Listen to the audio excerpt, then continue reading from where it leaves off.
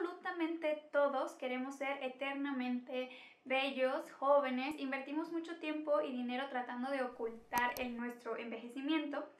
Pero más allá de hablar de por qué hacemos esto, hoy vamos a hablar de por qué envejecemos. El envejecimiento se refiere a los cambios producidos por el deterioro progresivo que ocurre en la edad adulta, o estos cambios que se asocian a una menor supervivencia. Realmente el envejecimiento es un tema muy interesante y actualmente no se sabe exactamente por qué ocurre. Existen diferentes teorías, son tres, probablemente has oído de estas. Una de ellas es que, como tú sabes, nuestras células se están dividiendo constantemente. Esta teoría dice que nuestras células tienen un número limitado de divisiones y una vez que alcanzamos este límite comenzamos a envejecer.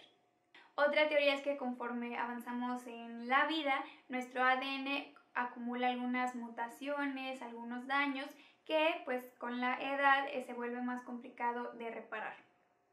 Y la otra es el estrés oxidativo, ocasionado por unas moléculas llamadas radicales libres. Podemos pensar en ellas como moléculas que les encanta estar en el despapalle, en el desmadre, que van por ahí causando muchos estragos en otras partes de nuestro cuerpo y afectando otras moléculas finalmente pues causando daños y estresando a nuestro cuerpo. Pero todas estas tres teorías, pero todas estas tres teorías ocurren a un nivel celular microscópico, ya a nivel lo que nosotros llegamos a ver o a sentir, o sea, a nivel fisiológico, algunos de los cambios.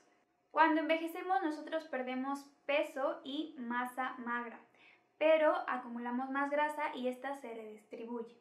También llega un punto en el que alcanzamos una máxima estatura y a partir de aquí pues nos comenzamos a ser más chiquitos. En las mujeres esto ocurre a partir de los 20 años y en los hombres a partir de los 25. Además de los cambios que ya sufre nuestra piel con el envejecimiento, el fotoenvejecimiento los exacerba y hace que nuestras arrugas sean como más profundas y más feas.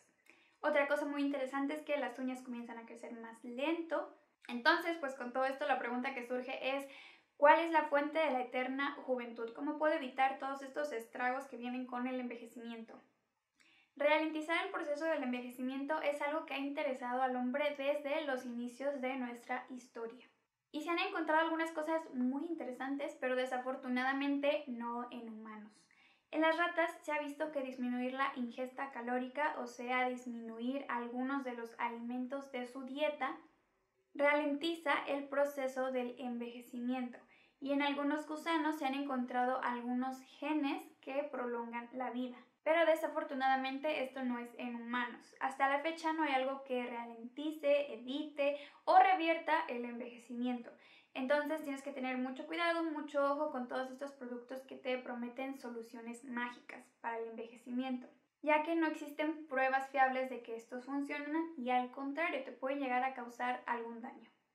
Todo esto te lo digo con el propósito de que te tomes un minutito para apreciar un poco de lo que hace tu cuerpo, porque incluso durante estos momentos de envejecimiento, él se sigue esforzando para mantenerte vivo. Y también te lo digo para que apapaches a todas esas personas que ya se encuentran en una edad avanzada. Comparte este video y nos vemos en el siguiente.